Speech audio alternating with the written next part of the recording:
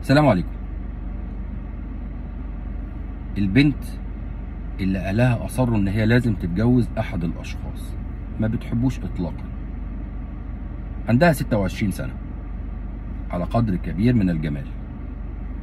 التعليم بتاعها مستوى عالي جدا كليات الصفوة أو خريجة كليات الصفوة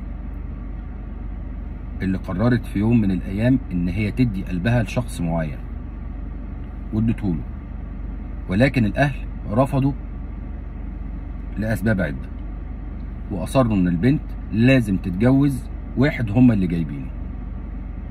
البنت اللي دلوقتي ما كانتش عارفة تفكر إن هي ترضي أهلها ولا ترضي قلبها.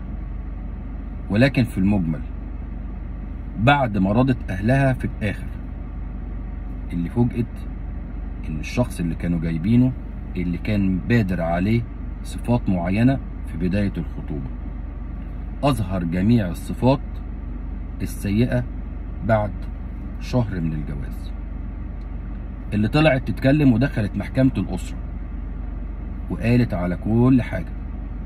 منها الجملة اللي أثرت فيها اللي أنا خدتك بس علشان في يوم من الأيام ما كنتيش عايزاني.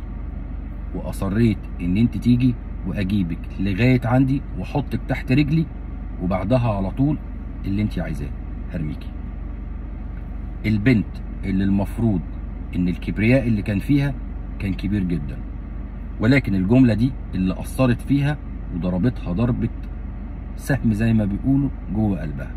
حتى لو ما كانش موجود الحب ولكن تأكدت كمان إن في الوقت ده مش هيبقى موجود أطفال بعد فترة معينة.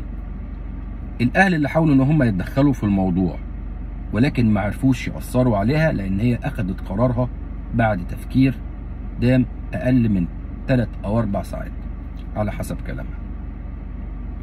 الإهانة التجاهل ساعات ممكن كان يبقى فيه ضرب ولكن ما كانش ضرب مبرح الشتيمة الإحساس إن هي بس متاخدة كزوجة علشان ارضاء لرغبته فقط لا غير. وارضاء برضه ليه إن هو يكسرها في وقت معين.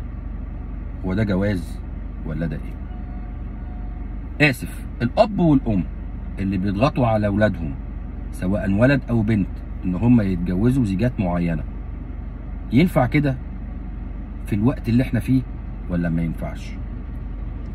طب نفكر إن إحنا نرضي الأهل ولا نرضي نفسنا ونرضي رغباتنا ونرضي قلبنا؟ طب الأهل الأم أو الأب دلوقتي ممكن يقولوا إيه؟ إحنا اللي حطينا بنتنا في الوضع ده؟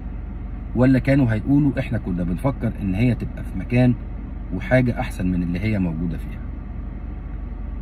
التفكير في الموضوع مرعب لو فكرتوا فيه ولو دخل الموضوع ده جوه العقل البنت أو الولد ممكن يتوه في وسط كل الأحداث دي. الرأي ليكم لحضراتكم والناس كلها بتسمع آرائكم وبتقرأ كل تعليقاتكم. نبقى مع الأب والأم ولا نبقى مع نفسنا ونفكر في أحوالنا وفي دنيتنا؟ وكل واحد شايل قربة معينة تخر عليه هو فقط لا غير. رأيكم إن البنت دي تكمل في الزيجة ولا زي ما قالت إن هي راحت محكمة الأسرة عشان تطلب الخلع للضرر النفسي اللي حصل لها بعد الجملة دي؟ وحست بالكسرة بعد ما اتجوزت الشاب ده. رأيكم يهمنا. السلام عليكم.